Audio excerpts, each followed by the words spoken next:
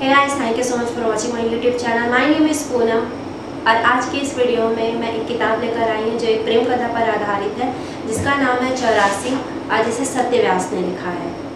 वैसे तो सत्य व्यास जी ने बहुत सी किताबें लिखी है जिस जिसमें से है बागी बनिया कोलकाता बनारस टॉकीज। और उसमें से फ़ेमस है ये चौरासी भी। वैसे तो हिंदी साहित्य को पढ़ने वाले सत्य व्यास की लेखनी से बखूब परिचित होंगे। और मुझे मेरा ऐसा मानना है कि जो हिंदी साहित्य को पढ़ते हैं, वो सत्यव्यास को ज़रूर ही पढ़े होंगे।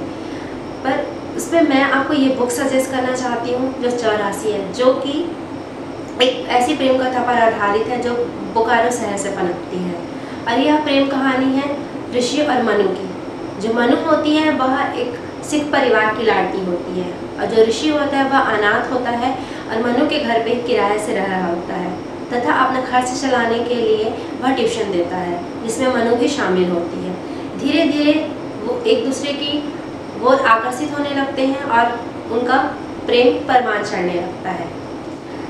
इस प्रेम कथा में रिश्तेदारों को वहाँ के शहर के जो स्थान हैं और त्यौहार सभी जब, सभी चीज़ों को बहुत ही बखूबी से वर्णित किया गया है।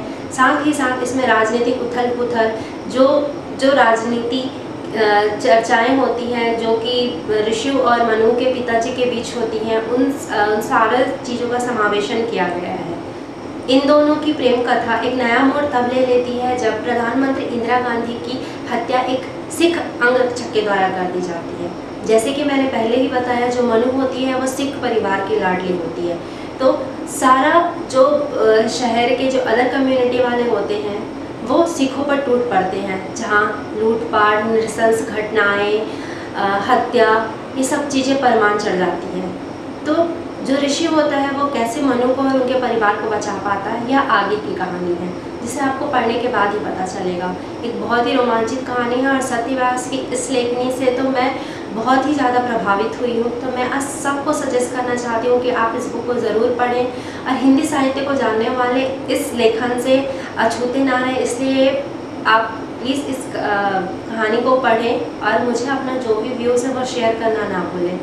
इस बुक का लिंक मैंने डिस्क्रिप्शन बॉक्स में दे दिया तो आप उस लिंक का यूज़ कर सकते हैं और इस चैनल को सस्टेन करने में मदद कर सकते हैं। तो आज के लिए इतना ही। मैं मिलूँगी अगली वीडियो में। तब तक के लिए। Bye bye